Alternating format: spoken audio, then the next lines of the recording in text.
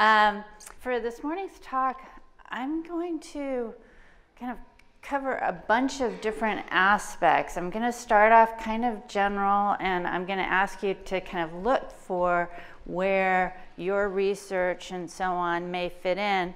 And then towards the end, I'm going to go into some case studies that specifically are about kind of learning analytics and knowledge discovery and so on. Um, but for most of the talk, the thing that I'm going to be really emphasizing, and I want you to keep in mind, is structure. And when I talk about structure, I'm talking about structure both in the input to kind of learning analytic systems, knowledge discovery systems, uh, but also structure in the outputs. So uh, let me unpack that a little bit. By structure in the inputs, I really mean that, you know, all this kind of crazy data that we can get these days tends to um, be very you know heterogeneous, uh, multimodal. There's different kinds of relationships. You have temporal data, you have spatial data. Um, it's very very rich. In addition, for the outputs, you know, think of classic kind of structured prediction problems. So things from natural language processing where you're trying to infer, for example, you know, part of speech tags or something like that, where, you know, what you decide one uh, word uh, represents depends on what you decide the other words represent in the sentence. Or something like um, computer vision, where computer vision, you're trying to recognize what's going on in a scene um, you know, what one person's doing, you know, that affects what you think the other people in the scene are doing. Or something like computational biology. Um, and I'm going to, of course, argue also for learning analytics. They all have this um, uh, characteristic as well. And actually, I really like this quote from um, Dan Roth from UPenn. And he says, you know, all interesting decisions are structured in this way that, you know, what you decide for one part of the problem impacts what you, the decisions you make for other parts of the problem. Um, but especially for the kind of work that's done in this community, there's this kind of structure, but there's also just the fact that we're dealing with these complex socio-behavioral, technical knowledge systems. And um, there's all kinds of crazy structure in them. So you think about a classroom and community there, you know, that's probably one of the most obvious examples of it. But then you think about lesson plans and knowledge and kind of the structure there. And you think about, you know, how the curriculum interacts in various different ways. So um, I want to take into account that there's also this kind of systems view where it's important to think about the structure. Um, and so in this talk, what I hope to do is provide you with patterns, tools, and templates for dealing with structure. And I'm going to go through each of these three things, the little parts of the talk. But throughout, and particularly later on when we have the discussion and so on, the question to have in mind is kind of in the problems that you're looking at, you know, is there structure? And you know, in what ways are you already using the structure? And in what ways um, could you potentially use some of the techniques or ideas and templates that I'm going to propose uh, to help you with that? So let me start by um, talking about patterns. And for the patterns, again, I'm we're dealing with these complex, connected socio-behavioral um, systems. But what I'm going to argue is that most machine learning algorithms kind of take this, you know, nicely structured data and essentially kind of flatten it into a table. Wow, my little animation just did not. You, you have to see. I worked really hard on that. um, so,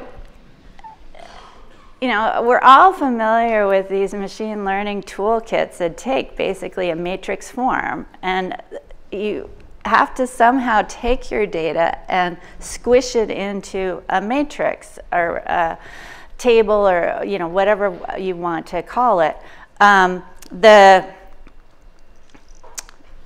one of the key issues in doing that is as you flatten it, most of the algorithms then make an independence assumption where each row is treated independently. And that um, ends up being certainly one of the issues. So when one's doing that flattening and potentially treating these rows independently, oftentimes, not always, but oftentimes you're making an incorrect independence assumption. You're definitely making an independence assumption, and then you have to argue whether you know that approximation is kind of okay or whether it's problematic.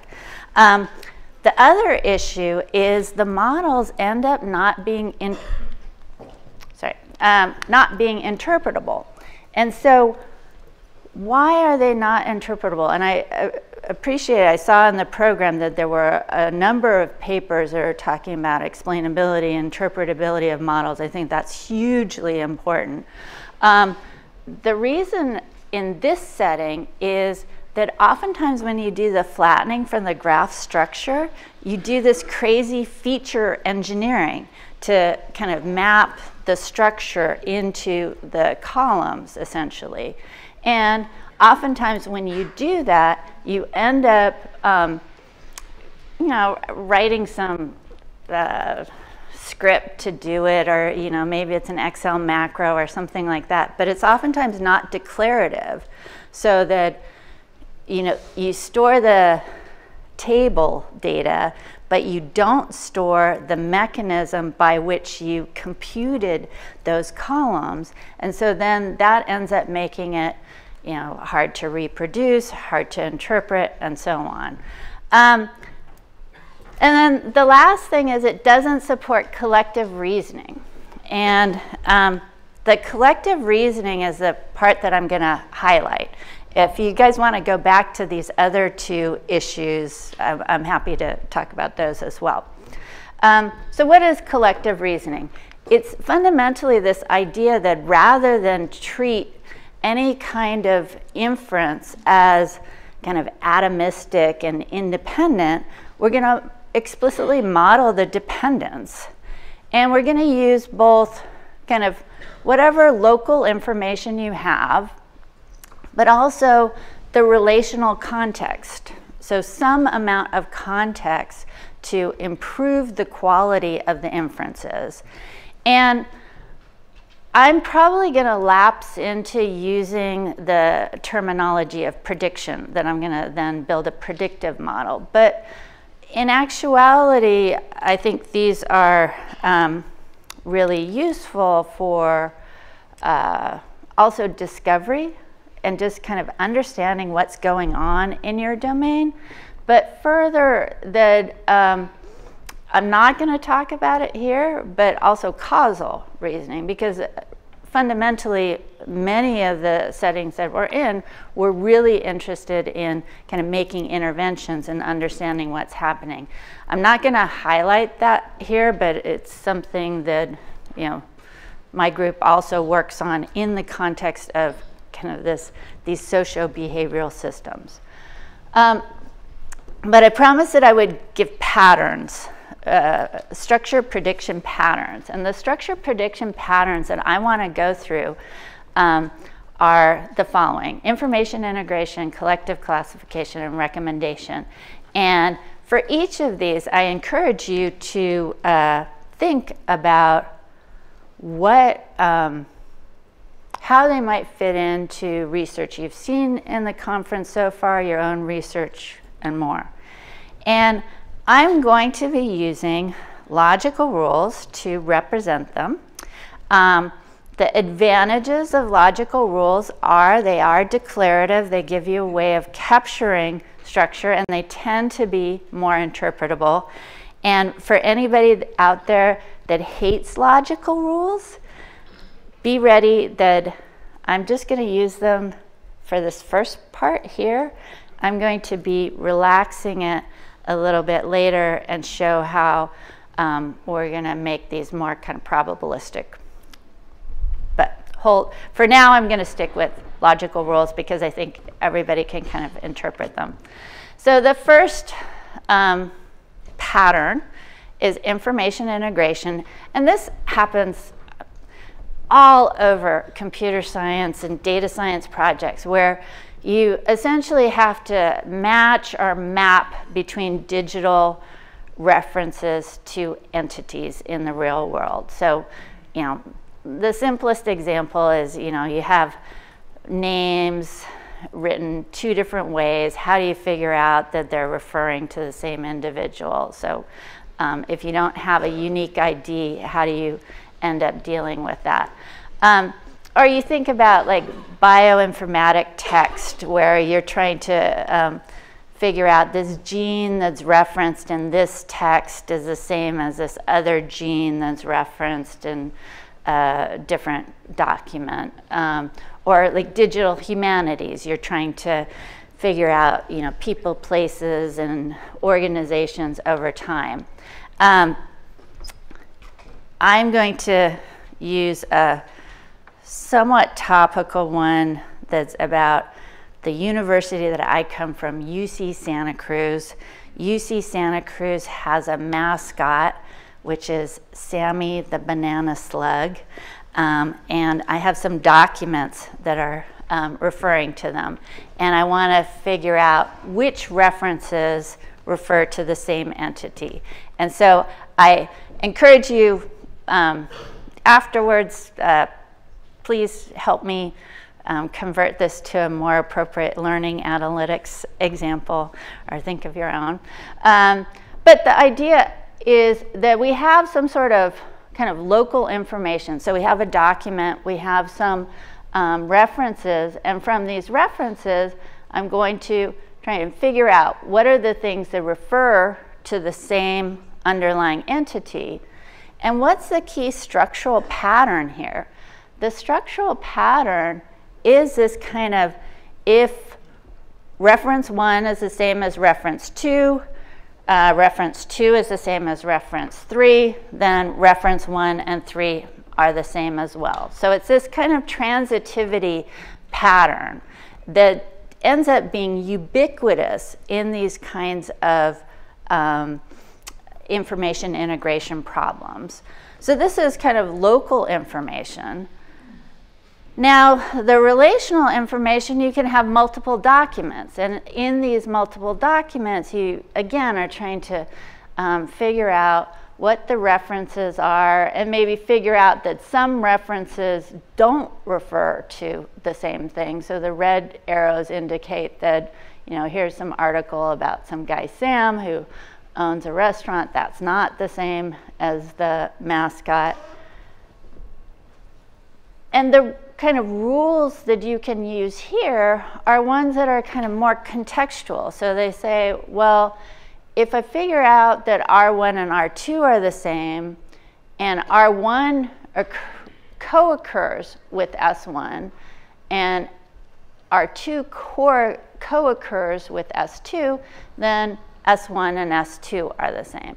So this kind of, I'm going to look and see, is there some similar context? Now, one of the things you're probably thinking at this point is, you know, that's a logical, you know, that's not definitely true. The challenge is all of these are little signals, little noisy signals that you need to kind of integrate in some way and you need to integrate it at scale. So you um, have all these kind of little pieces of um, uh, signal and then you know how do you combine it all together and then how do you do it at really, really large scales. So this is one of the patterns. The next pattern that I want to go over is um, what we call collective classification. And that's just the idea that many projects require you to infer or make classifications about interconnected entities. And the um, some examples of doing this are that you're just trying to infer demographic information. So it could be something like you're trying to infer um, gender or other things. Um, I'm going to give an, and this actually works very well for this, and there, in some cases, too well for this. We'll talk about that in a sec. Um, the example that I'm going to give is slightly richer than just trying to infer in a big network you know, some demographic attribute of the individuals, where um, instead looking at some online discussion and some online discussion where we have people posting something and then these links are, the red links are that um, you disagree and the green links are that you agree. And from this, I'm trying to infer what are the user's stances on a topic? Now, I can, um, so either pro or anti. I can use, um, oh, and I want to reference uh, Dhanya Sridhar is uh, my former PhD student who's now doing a postdoc at Columbia. She uh, was the one that worked extensively on this project. Um, so I can use kind of local information. Um, so this would just be kind of words that occur in the text to try and figure out if someone's pro or anti. So think, you know, you could use sentiment. But then I can use relational information as well. And so for the relational information, I can look at these kind of agree and disagree links. Um, and the kinds of structural patterns that I can make use of are things like if someone's pro and someone agrees with the person that's pro, then they're going to be pro. On the other hand, if someone's pro and someone disagrees with them, then their stance will be anti. And so I can combine these together to collectively infer all of the stances in the, uh, of the individuals. Um, the challenges here, I'm going to get to this a little bit more later, but is privacy. So um, in this setting, it's all well and good if I want to, to be able to infer these kind of uh, attributes, but if I don't, then there's issues. And you know, I, I know that's a topic that's being covered in um, the conference. I'm going to talk a little bit more about that later. And then the last kind of pattern that I want to go over is recommendation. I'm sure you guys are all familiar with recommendation. Here, the idea is that you need to kind of rank and make recommendations in many, many different settings. And you know, here's a cartoon example of this where I have some user, I'm trying to figure out um, does a user, which items will a user like? And again, I can make use of kind of local information. So the local information that I can make use of is whether our not um, if I know something about the topics that an individual likes and I know what the item is about that topic, then I can say something about the user liking that item. But I can also um, use relational information, and this is a classic kind of thing that you do in collaborative filtering and other recommender systems. So the idea that okay, a user likes an item and um, there's an item that's similar to it, then uh, the user will like that second item. In addition, I can also reason about the similarity between users. So if a user, again, likes an item and there's another user that's similar to that user, then this second user will like that item. So the challenge in all this is, of course, you know, how did you define similarity? So the fact that, you know, there's lots of different ways that you could define similarity.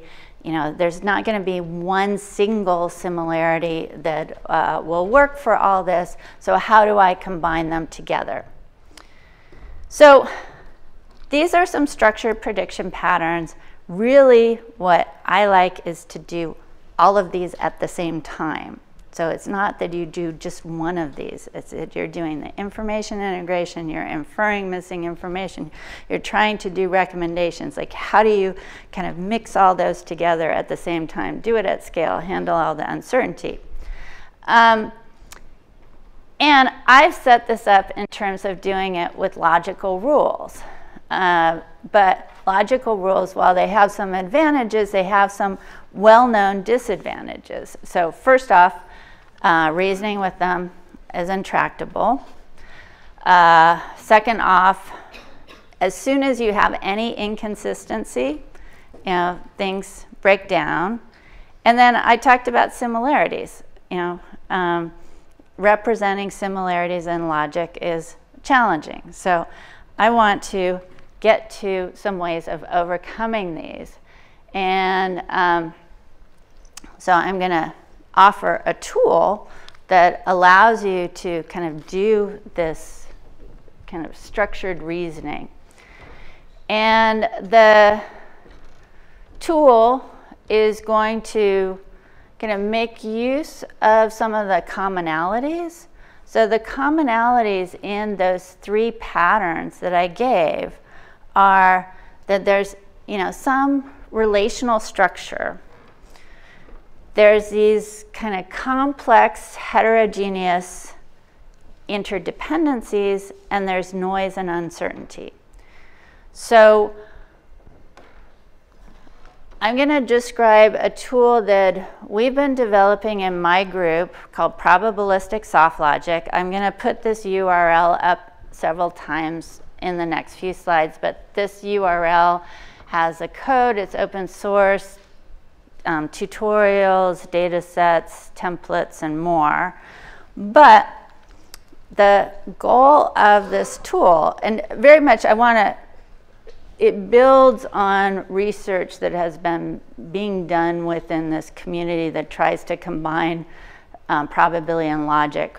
And, and I've been part of the community for quite a while. I feel like we kind of found a sweet spot in terms of kind of combining together methods and building on methods that uh, folks have um, been working on for 15 or 20 years. Um, but our approach combines rule-based and data-driven, combines logic and probability, hard and soft constraints, and fundamentally knowledge and data. And so I think it's a really good fit for a lot of your problems. Uh, so PSL is a probabilistic programming language for doing these collective reasoning problems. And it consists of weighted rules. So we're going to have rules, but they um, uh, will have weights now associated with them. And the weights are what allow you to capture kind of soft dependencies. So either you can have hard dependencies, so essentially have an infinite weight that this rule has to hold, or you can have soft dependencies. And a PSL program is going to be some set of rules, some input data, and then the output is a probability distribution. So the probability distribution over all of the things that you're trying to infer. And so what it does is kind of take these disadvantages and as I'll show in a sec, provides a tractable way of dealing with these um, structured problems that can handle inconsistencies and can, can represent similarities. So what does a PSL program look like? I mean, this is an example of the one for that stance problem from before. So you can see, you know, it's pretty straightforward. It's um, uh, easy to uh, interpret. And I'll show a, a, few more of these just so that you get a sense for them. But what's going on um, underneath the covers is we take a program, we take some data, and it's now going to define a probability distribution. And this probability distribution has a particular form. It's um, uh, most analogous to a conditional Markov random field where the actual kind of mathematical form looks something like this. Um, so we have some distribution and, you know, I'm not going to unpack this here in this lecture. Um, I will, um, but I did want to show you for folks that are familiar with these flavor of models. The, this is just going over all of the instantiations of the rules, um, some weight, and then this is a potential function where the potential function captures something about, you know, how much um, is the rule not satisfied? And basically you want to minimize the dissatisfaction of the rule is one interpretation for it. Now the cool thing is how did we get to this? Um, now this would be probably in a different audience, I would go off on like a half hour showing the derivation for how we got to this. Um, I'm very happy to uh, talk to folks who are interested in more detail. Um, and this, I want to call out my student, Stephen Bach, who was very much the lead on this. He's now an assistant professor at Brown. Um, we found this very elegant equivalence between three different interpretations for the weighted logical rules. So one interpretation was coming from um, the theoretical computer science community um, uh, around uh, randomized MaxSat and some uh, kind of old results in that community. Another was coming from the machine learning community, graphical models, uh, another was coming from soft logic and AI, where there was uh, from the graphical models community, these kind of local consistency um, relaxations that people do all the time. Um, but there wasn't any approximation guarantees. We were able to show certain approximation guarantees could be made use of from the randomized uh, MaxSat community and apply there. So that is actually super interesting. And then the really interesting thing is using, this was our original approach, was using some techniques from soft logic for dealing with degrees of truth. The solution you get there ends up being the same as a solution that you get from the local consistency relaxation and from the uh, MaxSat uh, relaxation. So I think this is really exciting. I think it shows that there's something kind of fundamental uh, to the approach. On the other hand, I think there's still lots of work to do in this space. So anybody that's interested, uh, come talk to me more. But it gives us this way of having one formalism that can reason scalably and accurately across these kind of three different interpretations. So PSL gives us ways of doing inference very fast. So rather than doing combinatorial optimization, we're doing a convex optimization. That's going to be a lot faster. Further, we can make it um, even faster with distributed graph processing. We have uh, methods for learning them. Um, and uh, as I said, it's open source and the tools are here. So let me now um, give some examples. And I'm sorry that the slides are doing this auto advance thing. That's kind of annoying. Let's see if I can make it go away. Not sure if that did it. Um, all right, PSL examples.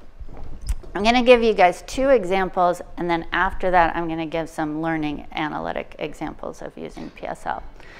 Uh, so the first example is about uh, cyberbullying. This is work by my former PhD student, Sabina Tomkins, uh, who's now doing a postdoc at Harvard.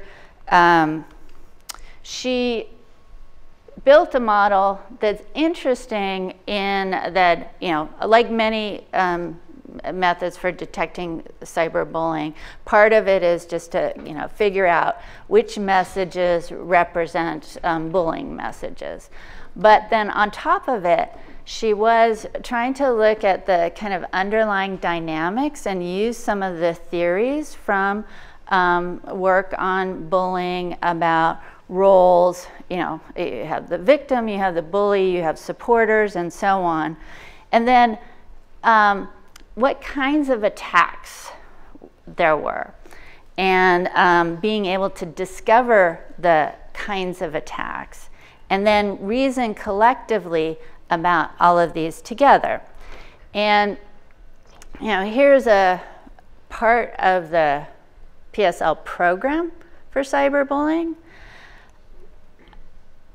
and then some results where this was um, on detection on Twitter data. And one, one of the um, key findings was um, incorporating uncertainty was beneficial, partly because you know you have a tweet. It's like, is it bullying or not? So being able to incorporate that kind of uncertainty about the label ended up fundamentally increasing the performance of the system. Um, and so compared to a published state-of-the-art method, we were able to, by using this richer model, um, increase performance significantly. But again, I think the more interesting thing is around the kind of discovery aspect. You know, what can then you then discover about the social systems and then how could you use that in a more sophisticated way? So in this, um, there was some um, evidence of power dynamics that she could pull out and also uh, we could do things like discover what's the most common attack type, um, and so on. The next example that I want to give of a model that's you know richer than those patterns that I gave at the very beginning is a social trust model. And this, um, my former postdoc, Bert Huang, who's now an assistant professor at Virginia Tech, was the one that did the main work on this, where in this model, we're trying to, we're looking at individuals and we're looking at trust are the green edges and distrust are the red edges. And, you know, there's existing work in social psychology around different models for how trust forms in these networks. And one of them is the structural balance uh, method, and one of them is the social status. And for the structural balance method, um, this is the kind of classic, um, you know, a friend of a friend is a friend, uh, enemy of my enemy is my friend. And, you know, there's all these different combinations of trust and distrust relationships where you look for consistency across them. And the cool thing is you can encode those as PSL rules. Um, the second model that's popular um, is what's referred to as a social status model. And the social status model, again, it's this idea that, um, you know, I look up to people that are above me in the hierarchy and I don't trust the people below me in the hierarchy. And um, again, this turns out to have certain combinations of trust and distrust links that make sense, that are consistent with this model. They're a little bit different than the ones for the um, balance model. And the cool thing is, you know, we can throw these into PSL model. We can um, evaluate them. In this case, the evaluation is on predicting the distrust links, which are the ones that are harder to predict. And we have our two models, the PSL balance, the PSL status, two um, state-of-the-art methods that were kind of network sciencey approaches for doing this and a baseline model. And the interesting thing is, you know, both of our PSL models did better than the competing methods. But then the thing that uh, I particularly liked about this piece of work is we next went on to build on this where we introduced a latent variable. And the latent variable uh, is about the individuals and the individuals in terms of how trusting they were or how trustworthy they were. And so you add that into these two existing models, and the performance you get with the latent variable model is significantly better. Um, and so then this is the place where you would then go to a domain scientist and say like oh you know in your organization i found you know uh, the engineers are all balanced over here the um, i don't know the uh, bureaucracy types are more hierarchical over here and you know how do you mix them and how do you figure out uh, uh, looking at the trustworthy and the trusting individuals and what does that say about the organization? So um, we've actually worked on a lot of other PSL projects. Any of these I'm happy to talk to folks offline about um, stuff in bioinformatics, energy disaggregation, um, more on recommendations. But I'm going to go into templates now and pull out two of these um, that are uh, the modeling student engagement and the knowledge graphs um, because I think they uh, will be relevant for this community. So within the templates, um, I'm going to talk about modeling engagement, uh, knowledge discovery, and then a little bit about you know, responsible machine learning, all in these kind of socio-behavioral settings. So for modeling engagement, this is very much work of Arti Ramesh, uh, former PhD student who's now an assistant professor at SUNY Binghamton. And she's done a whole line of work, which I'm going to um, kind of pull out some little pieces of for you. Um, and uh, again, happy to talk in more detail about each of these. But the, First one is just about modeling student engagement. And so um, this is modeling student engagement in MOOCs. Um, and clearly, the ways that students engage in MOOCs is different than classrooms. The thing that was nice about this initial work, which was from um, you know, more than five years ago is we were able to validate our methods on, you know, eight very different MOOCs that were done at University of Maryland, where um, I was a professor at University of Maryland um, uh, at the time we were doing this work. And if you think about MOOCs and student activity, they have exactly this kind of rich structure that um, I've been claiming that PSL is good at modeling. And so you can think about all the ways in which students engage in a course. So students engage by, you know, doing homeworks, taking quizzes, doing assignments, and so on. Um, but they also have these kind of behavioral aspects where they kind of view the lectures, they um, uh, post and view on the forums and so on. And um, then you can look more at the posts themselves um, and do some content analysis on them. Um, and so it's very rich. And what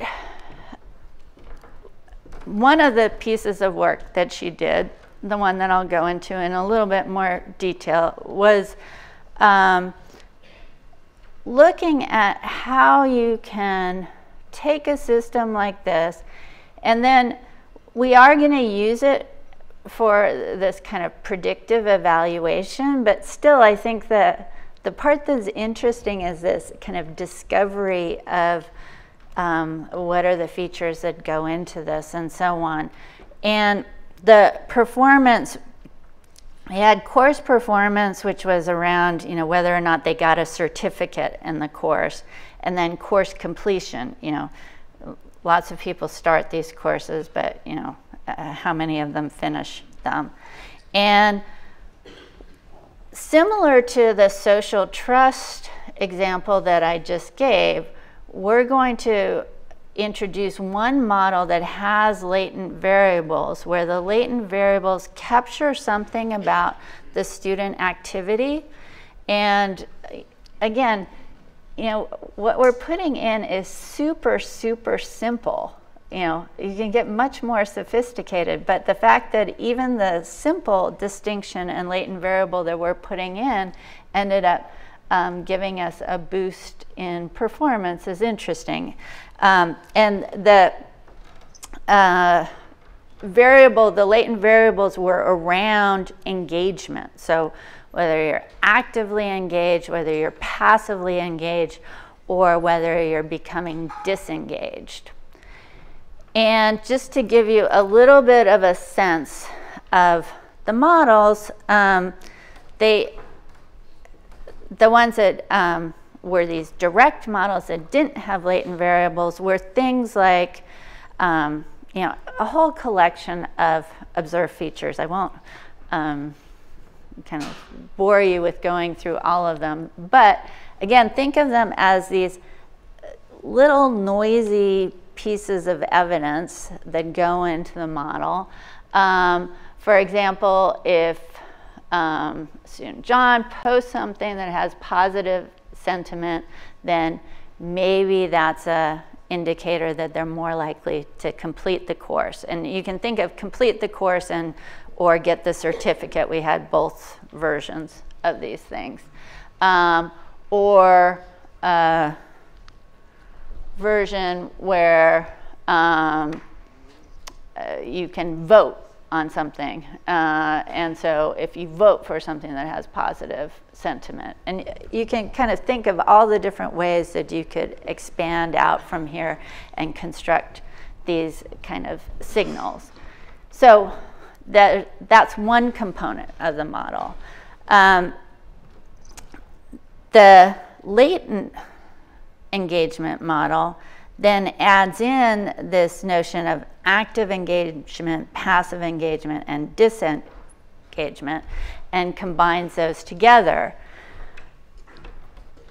And so the again, there's going to be things that indicate active engagement and things that indicate passive engagement, things that indicate um, disengagement, and all of those are combined together to um, uh, indicate course completion and um, course performance. And so the empirical evaluation we did across um, several different disciplines and um, different instantiations. Again, I'm going to show you a snippet of some of these results. Uh, the data set contains all of the information about the student activities. It contains information about interactions and it has the assessment data. And this it, first set of results is around um, predicting whether or not they um, uh, get the certificate or they don't get the certificate. We had a baseline which actually worked relatively well. So uh, keep in mind if you don't want to do anything as fancy as um, uh, PSL, these things of just looking at um, basically how many lectures did they watch and their lecture uh, viewing was quite, um, had a lot of signal in it. And then adding in the kind of direct model and the latent model across, these were the three largest courses. Um, we see uh, improvement along different measures. So the, the uh, for predicting either of these or some a combined uh, rank which uh, mixes both of those, uh, we get an improved performance. For course completion, which is kind of harder to predict in many ways because you know so many people drop out. Um, again, we get an improvement of performance, especially across the um, uh, the completion part and then predicting dropout and the overall. Then another use case that I already identified was all these things are important to predict, but one of the things that's interesting is how do you predict them early? So uh, being able to predict early into the course, at the start, the midpoint, or um, uh, further on, combining these two, how well you could do at predicting who's going to complete. So then, then ideally you can make some intervention. Again, this model, did, this latent model did well. So this is just kind of a sprinkling of the results from these. I have like a lot more slides here that I hit. If you guys want to, um, uh, there's some stuff that's just really interesting about the basic analysis of the data and so on. I'm happy to talk about those. Um, but I want to talk about a second component of Arti's work where she did kind of more fine-grained text analysis of what was happening in the forums. And for this work, um, again, she did a, a, bunch of different things. I'm going to highlight the kind of first one, but um, one of the last ones I won't talk about so much is the the evolution of topics over multiple instantiations of the course and uh, so on, which was interesting. Um, but this first one, sentiment towards course aspects. The thing that I liked about this, this was originally motivated by a conversation that I had had with some educators saying, like, uh, you know, looking at sentiment is fine, but you do realize that it's a pedagogical um, uh, uh, strategy to you know, get students to engage by having them have kind of strong positive and negative reactions to um, the content. And um, particularly in certain disciplines. This is, you know, your strategy. You want to get them engaged, so you want to get them reacting strongly. And so they were saying, like, well, engagement, you don't want to look at, like, negative sentiment does not indicate um, uh, disengagement. Oftentimes it can indicate strong positive engagement in the course, even though the um, sentiment is negative.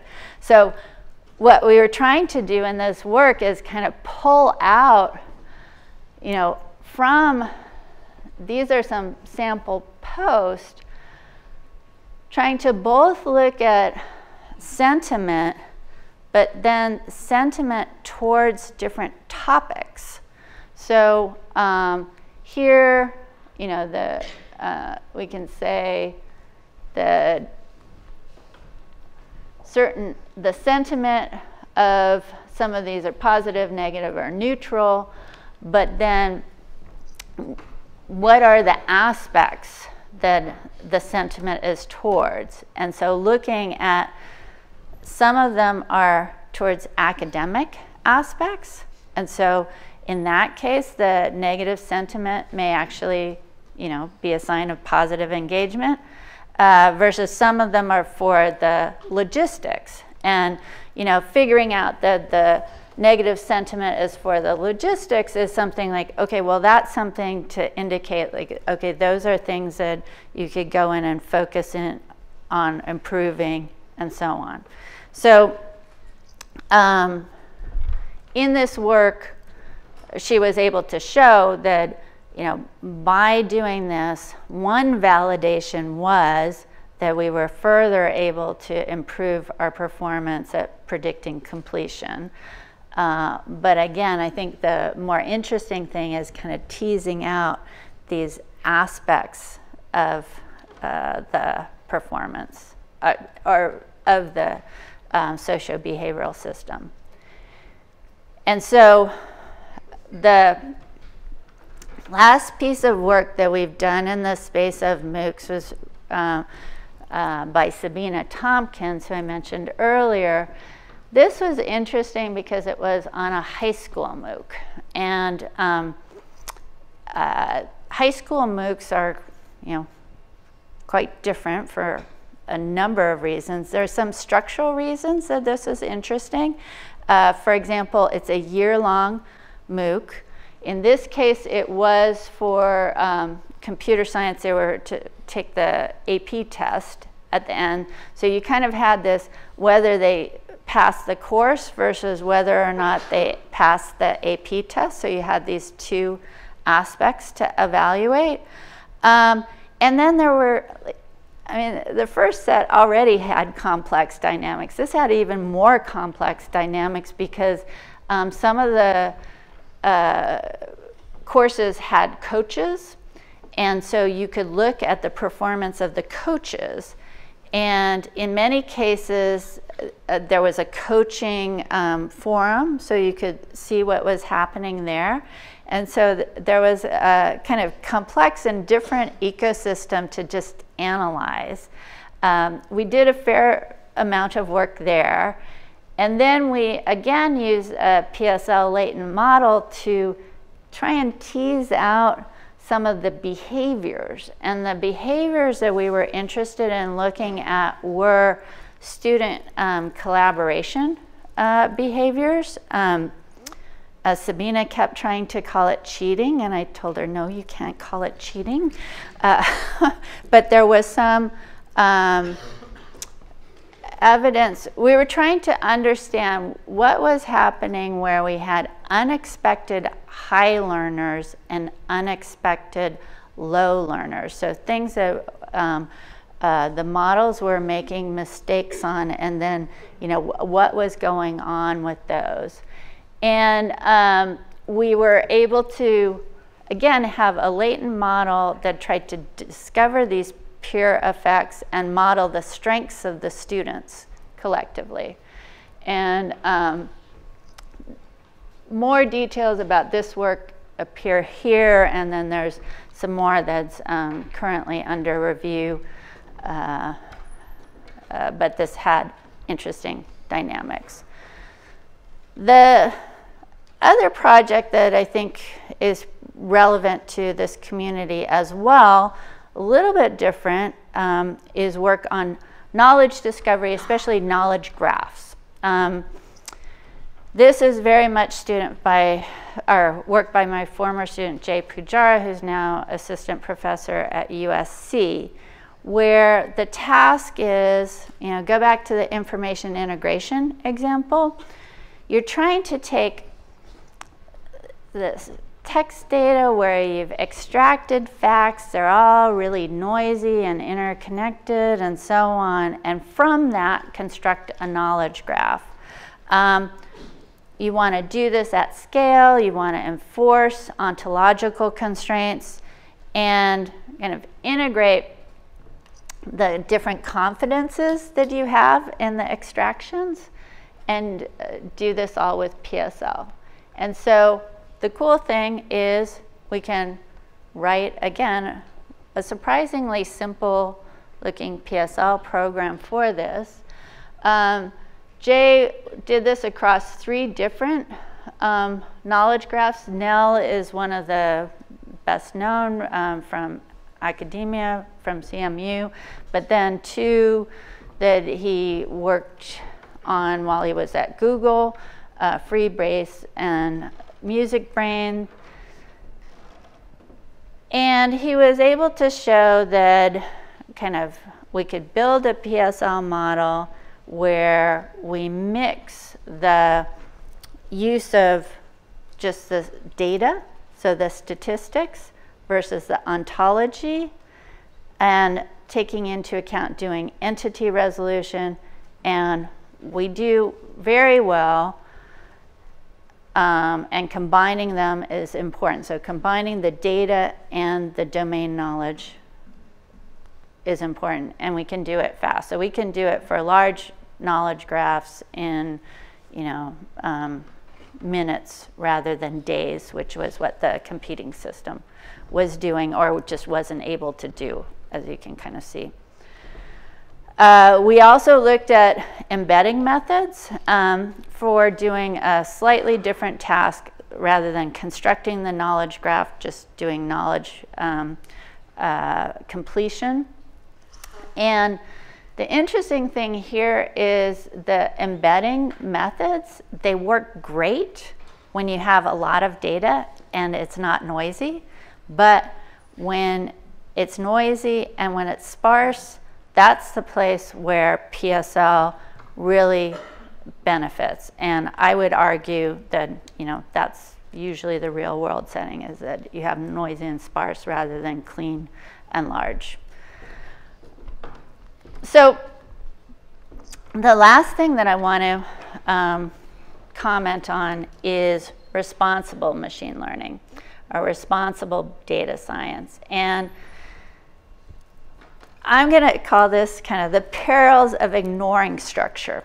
Um, I think it's really important as we build these data-driven methods that we take into account structure. One way is in terms of privacy, and I mentioned that earlier. I saw that it's mentioned in the program. Um, privacy in particular, when you have this relational setting, you can do all you want to hide attributes of an individual, but if you can infer them from other individuals or kind of inadvertently infer them from things that are correlated and don't take that into account, that's a really serious issue. And so we've done some work in this space. I'm happy to talk more offline about that. In particular, Elena Zheleva did some really nice work on um, actually on Facebook kind of data you know, this was like 10 years ago, showing like how much information is leaked by group memberships. Um, another place where responsibility is important is fairness. So um, I was glad to see, you know, one best paper, and there were other, lots of other uh, papers in the conference on fairness. Um, I think fairness in the structured setting is particularly interesting to um, discover different kinds of patterns where the patterns may actually be kind of uh, structured according to some social group or economic group or so on, and being able to take that into account. And then finally, this um, topic that uh, people often refer to as algorithmic discrimination. So the idea that you can take an algorithm that's biased. Now, because it's biased, then you're operationalizing that bias and oftentimes legitimizing it because it's like, oh, well, the algorithm is the thing that's said to do this and so on. And then creating this kind of feedback loop and being able to under, uncover that, and in particular, uncover that in an education setting is, I think, really important and fascinating. And I think kind of thinking of the feedback loop as that kind of structural component is important.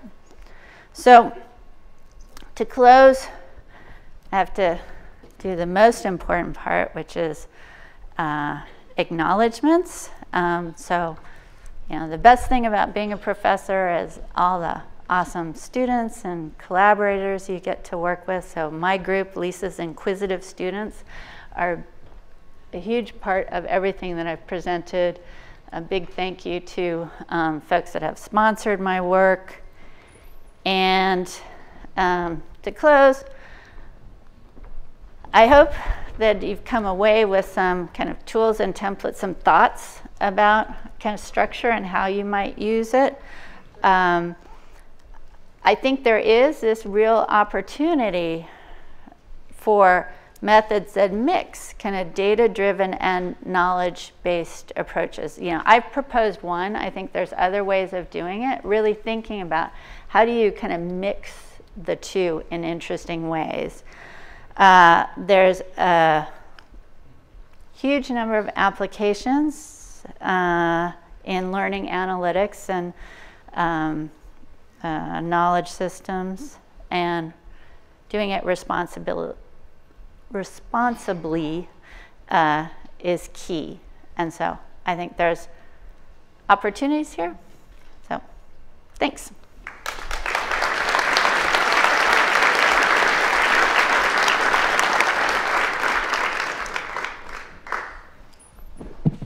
Thank you, Lise, for this uh, very, very rich and interesting bouquet of uh, methods and applications, examples. I think we have just time for two questions before the coffee break, and then there is the Q&A. So... Thanks for the great talk. It was really interesting, and, and uh, I really enjoyed it. Um, and this is fairly new to me. Um, but we face the problem a lot in, um, in some of the data that you, uh, similar data to what you've pointed out, where there are, there might be 50 indices that are um, within an algorithm. And I have, you know, I suspect, well, okay, it's X and Y equals good, but X, Y, and Z equals bad or you know all these complex and i suspect them but i've never been able to actually these interactions i've never i mean i found interactions in my data but yeah. Uh, but one of the questions i have is if you could point us to some papers that tell us how to discover the structure within the data yeah um, so i can certainly answer the question for our setting, uh, which I didn't go into that much during the talk, but um, we do have methods for learning the weights okay. of the rules and then what's called learning the structure of the rules, so searching over the space of possible rules. I do think exactly when you have a domain expert or someone familiar with the setting that can provide some starting point, but then you do it in a data-driven way where you both, you know, check the weights um, that you learn from the data, then expand on the structure um, and, and kind of compete, complete that loop is beneficial. The cool thing is, I think these, this family of methods allows you to do that at scale. So you can search a lot of different models um, quickly. But then a part of responsible data science to me is then, okay, you know, you get out your model and then, you know, drill down on it and, you know, do more additional testing of it, do comparative analysis, like if I compare it with this one versus this one. So um, I, I think there's a real place for this more flexible um, meeting of knowledge about what you think the interactions are with the data-driven piece of it, and then checking whether it transfers. So I didn't talk about it, but the models that Arti built, you know, she trained them on one setting, but then tested, did they generalize to other settings as well? So.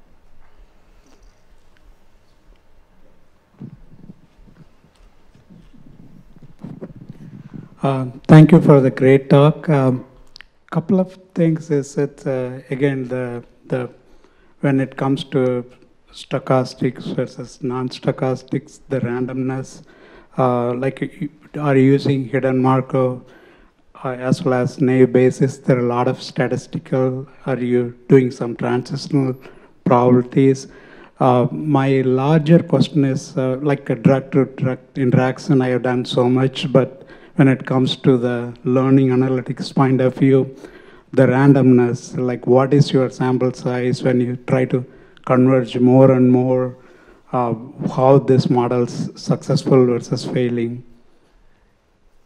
Okay, uh, so I'm going to answer, um, but I'm, I'm, but double check that I'm answering your question correctly, that I'm interpreting it correctly, because I think there's there's multiple places where stochasticity and randomness come into these kinds of models, and one answer is that um, the way that we do inference is not a sampling-based approach, and actually that part is cool.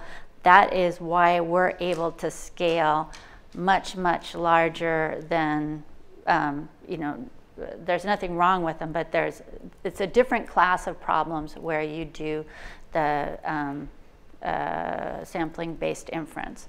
We are, that's the cool thing about the optimization that we got. We're doing direct optimization of that. Um, in terms so then uh, some of the classic statistics kinds of questions um, uh, don't come up in quite the same way. So uh, there's different flavors of questions that you need to ask. And you know, like a lot of machine learning, we tend to validate them through doing some form of you know, cross-validation and then looking at generalization and so on. So it, it has a different flavor. Thank you. Yeah. Thank you. And there is more time for questions after the coffee break. So thank you very much.